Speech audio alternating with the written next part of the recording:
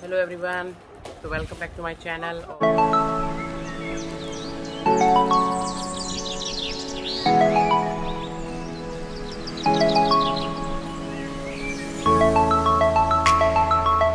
और आज सुबह सुबह ही मैंने मूड बना लिया है कि मैं ब्लॉगिंग स्टार्ट कर दूँ एंड बहुत रिलैक्स फील हो रहा है। दो दिन से नींद पूरी नहीं थी डब्बू की बर्थडे की वजह से और होली भी थी। तो आज मैंने अपनी नींद पूरी करी और मैं थोड़ा सा लेट उठी हूँ सो करके और पतिदेव ऑफ़िस चले गए हैं एज़ यूजल और डुब्बू और आराध्या मस्ती कर रहे हैं अपना, उड़ गए हैं दोनों लोग। इन लोगों ने भी अपना दूध दूध पी लिया है ब्रेकफास्ट कर लिया है। एंड आज एक इम्पोर्टेंट काम भी है, वो भी करना है हम लोगों को। उसके बारे में मैं आपको बताऊँगी कि वो हमें क्यों करना पड़ा। तो मिलते हैं नया लुक जो मैंने आपको दिया है आप बताइए। और मैं वाले थे। हाँ और आप बनी का एक नया लुक देखिए आज मैंने इन दोनों को बहुत प्यारे से इन लोगों के लिए ये बनाए हैं। वो बना दिए दोनों की छोटे छोटे से ये लगा दिए दोनों के मफिन एंड बनी दोनों एंजॉय कर रहे हैं हमारे साथ। मैं आपको पास से दिखाती हूँ। मफिन आ जाता है मेरे पास बहुत जल्दी। ये देखिए।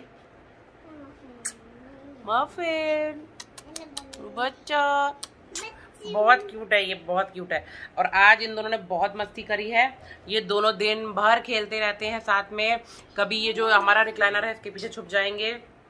और ये जो इनका घर है ये इस तरह से मैंने बनाया हुआ है। इनका प्ले पेन मंगवाया था मैंने ऑनलाइन ही मंगाया था ये प्ले पेन तो इसमें ये पूरा दिन मस्ती मारते रहते हैं।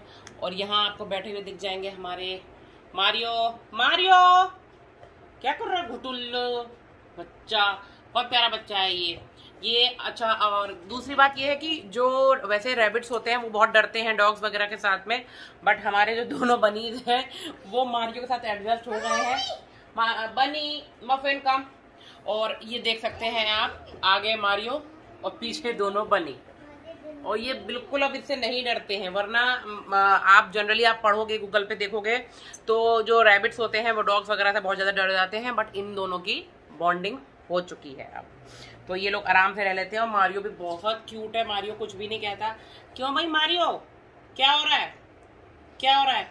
गर्मी की वजह से मारियो ने भी खाना खाना कम कर दिया है। थोड़ा सा पहले ये फोर एक्स डेली खाता था। उसका जो डॉग फ़ूड है वो भी खा लेता था साथ में। ये देखिए आप, देखिए। ये बनी जो है फिर बनी नो इसको मत चाटो बेटा। क्या कर रहा हो तुम ये? तो ये खा लेता था, आराम से अच्छी सी डाइट लेता था बेचारे को। बहुत गर्मी लग रही है। एक्चुअली जो चाव चाव ब्रीड है ना, ये है रशियन ब्रीड और इन लोगों को हीट बिल्कुल भी टॉलरेट नहीं कर पाते हैं। ये लोग नहीं टॉलरेट कर सकते और इसके लिए एसी चलाना पड़ता है या कूलर चलाना पड़ता है, तब तो ये भाई साहब रह पाते हैं। और दिन भर इसको हाँफना है सर्दियों में भी इसकी जीभ निकली जाती थी। इसकी और इसकी होती है पर्पल कलर की टंग। देख सकते हो आप, ये पर्पल टंग है इसकी। चाव चाव ब्रीड रशियन है अभी हम लोग सभी को इनविटेशन कार्ड दे के आए प्रशासनिक कार्यक्रम होना है कल। वन थर्टी टू के भी सब स्टेशन बन रहा है तो वहाँ पर वो कार्ड्स डिस्ट्रीब्यूट करके आए सारे गरमान लोगों अब घर में हम लोग अभी बस मैं बज रहा है पौने सात। मैं सोच रहा हूँ हल्की सी भूख लग रही है मैं सोच रहा हूँ साढ़े सात के आसपास। कॉफ़ी। कॉफ़ी और मैं यूपी नूडल्स खा के फिर मैं आठ बजे से जो है वॉलीबॉल स्टार्ट हो जाएगा मेरा। हम्म। तो ये रहेगा और रात में सोच रहे हैं कि हम लोग कोई मूवी देखें। वही वाली जो जीएल क्या नाम था उसका? जीएस जीएल 65 सो हम लोग वही प्लान करेंगे कि वही देखेंगे सो गाइस ये हैं वो दो चीज़ें जो कि मैंने पहले भी आपको दिखाई थी। बट ये अब चेंज हो चुके हैं। वो मेरे पास दोनों मेल थे और वो मुझे देने पड़े। और ये दोनों हैं फीमेल ये बहुत ज़्यादा एक्टिव हैं दोनों। एंड वो था मेरा, दोनों ही मेरे पास मेल थे बट वो मैंने इसलिए वापस करे क्योंकि वो दिन भर सोआ करते थे। और ये दोनों काफ़ी एक्टिव हैं। एक्चुअली मैंने आपको बताया भी था कि मैं इनको क्यों लेके आई हूँ आपको, क्योंकि मेरे घर में एक बहुत मोटा सा चूहा आ गया है, जैसे कि। तो उसको भगाने के चक्कर में मैंने ये वाइट वाले चूहे रखे हैं। और ये बहुत दोनों एक्टिव हैं, ये दोनों ही फीमेल्स हैं। क्यों क्योंकि मैंने इंटरनेट पे काफ़ी सर्च करा तो मुझे ये पता चला कि इसमें फ़ीमेल्स एक्टिव होती हैं मेल बहुत ज़्यादा लेज़ी टाइप के होते हैं। तो इसी वजह से मैंने अपने वो दोनों ही जो मेरे पास पहले जो चूहे थे वाइट वाले, वो दोनों मेल ले आई थी मैं गलती से। और अब वो बिल्कुल भी पूरा दिन सोते रहते थे, पूरा दिन सोते रहते थे। और ना कुछ ज़्यादा खाना पीना, ना कुछ थोड़ा बहुत खाया। तो इसी वजह से मैंने इन दोनों को चेंज कर दिया है। लेट्स सी कि ये दोनों कितना अपना कर्तव्य दिखा पाती हैं। और मोटा जो चूहा आ गया है, हाथी जैसा उसको भगा पाती हैं। क्या करते हैं ये दोनों मिलके?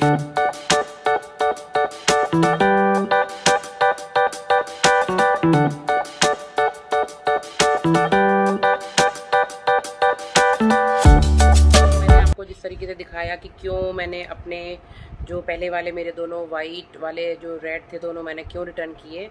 तो उसका रीज़न यही था कि वो दोनों मैं मेल लेके आई थी और वो बहुत लेज़ी थे इनएक्टिव थे।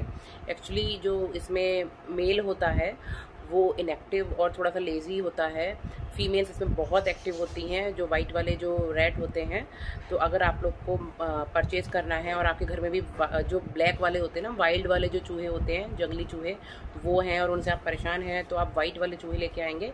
तो उसमें फ़ीमेल लेके आइएगा और मेल नहीं लीजिए।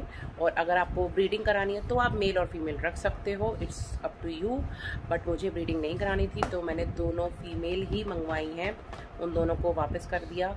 और इस वजह से मुझे अच्छा नहीं लग रहा था बट मुझे उनको दोनों को वापस करना पड़ा।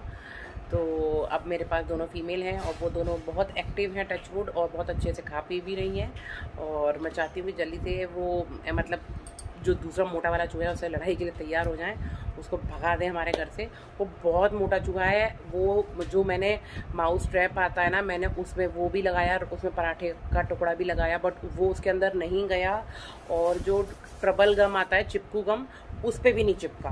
तो आप लोग के पास कोई सजेशन हो? अच्छा तो प्लीज़ कमेंट सेक्शन में बताइए कि मैं और किस तरीके से उसको भगा सकती हूँ। वैसे मैं पूरी तरह से मुझे यकीन है कि ये दोनों वाइट जो चूहे हैं फीमेल्स ये दोनों मिलके उसको भगाने में मेरी हेल्प करेंगी और हमारे घर को उस मोटे बड़े चूहे से मुक्ति दिलाएँगी।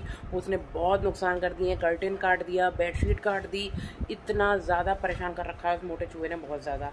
तो आज का मेरा ब्लॉग मैं यहीं एंड कर रही हूँ गाइस और अगर आपको ये मेरा ब्लॉग अच्छा लगा हो तो उसको प्लीज़ लाइक कीजिए, मेरे चैनल को सब्सक्राइब कीजिए और अपने फ्रेंड्स के साथ शेयर कीजिए।